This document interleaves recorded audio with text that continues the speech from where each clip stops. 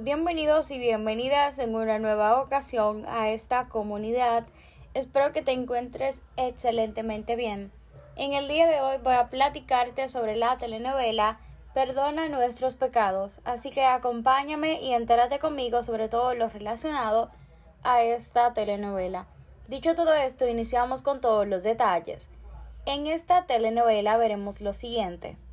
La relación de Andrés con Elsa se va a recuperar ya que gracias a la vida Eva vive y Eva está con ellos. Gracias a la gran insistencia de Andrés, logró dar con el paradero de su niña. El corazón de padre le decía que su niña estaba viva, y su gran instinto lo llevó a conocer a la bella criatura, con la cual hizo con muchísimo amor con Elsa. Mientras tanto, Elsa seguirá al lado de Horacio, y Horacio comenzará a crearle inseguridades, diciéndole que cuando Elsa crezca y sea una mujer más adulta, tendrá que vivir con los cuestionamientos de su niña Eva, diciéndole por qué razón la abandonaron o por qué razón ella fue también adoptada por otra familia. Sin embargo, veremos otros detalles más.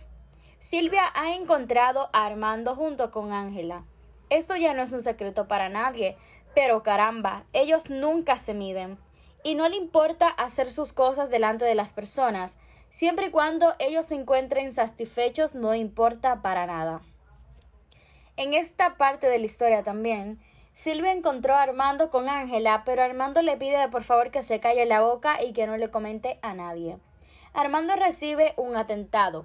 Lo más probable es que esto fue un ajuste de cuentas, porque Armando no es un hombre muy bueno que digamos. Luego de este ajuste de cuentas con Armando, él se tendrá que callar la boca, ya que no hay muchas cosas buenas para él.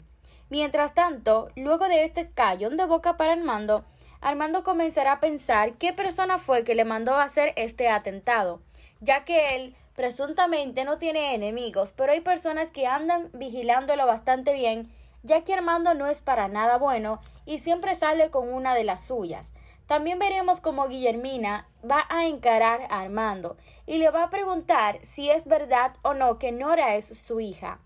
Guillermina se encuentra bastante desafiante y no piensa pararle bolas a este hombre, y le hace esta pregunta y le dice que por favor le diga la verdad, que ella ha esperado durante mucho tiempo volver a encontrarse con la niña que Armando le arrebató de sus brazos, y sí, Nora es hija de Guillermina.